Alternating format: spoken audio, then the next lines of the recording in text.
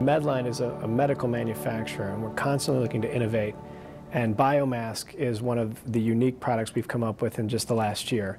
What it addresses is uh, masks are used for filtration, but they don't really kill the bugs that you know we come in, in contact with. And Biomask is the first of its kind that actually inactivates 99.99% of the flu virus and other bacteria. We realize masks are just filters. They're like your air filter in your air conditioner or your heater. They're going to help with particulate, but they're going to let things pass through. Well, uh, Brian Tompkins, the product manager, myself, we looked at uh, different opportunities to get a mask that did more than that. Medline is a family company that's been in Chicago since 1910. I can't tell you how excited we are to be recognized as part of the Chicago Innovation Awards. Thank you very much for this consideration. We're honored to be here with everybody, and uh, we're just completely excited about our future.